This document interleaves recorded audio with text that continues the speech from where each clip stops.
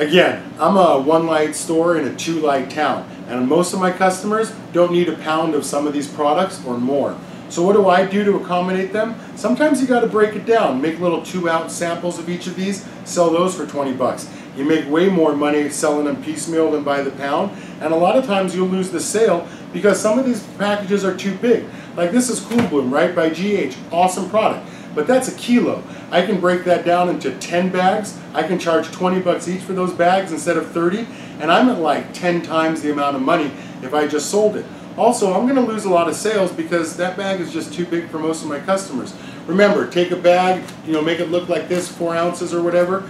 Take one of your cards, write what it is, staple it on the bag, and you got a lot more options to sell stuff and get a little bit more money from your customer. Remember, it's all about putting that money in the register.